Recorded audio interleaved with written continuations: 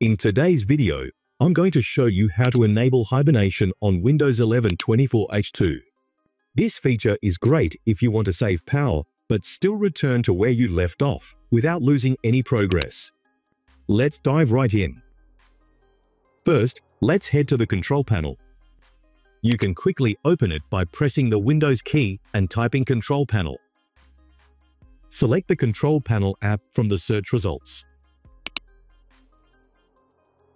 Once you're in the Control Panel, go to System and Security and then click on Power Options. This is where we can manage all the power settings on your PC. Now, in the Power Options window, look for Choose what the power buttons do on the left panel. Click on it.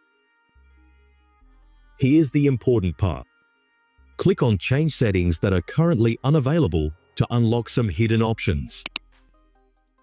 Now, scroll down and under the shutdown settings, you'll see an option called Hibernate. Simply check the box next to it. Once that's done, hit Save Changes, and Hibernation is now enabled on your Windows 11 PC. To use Hibernation, go to your Start menu, click on the power icon, and you should now see the Hibernate option alongside Sleep, Restart, and Shutdown. And that's it.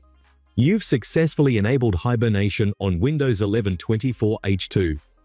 It's a great way to conserve power while keeping your work right where you left off.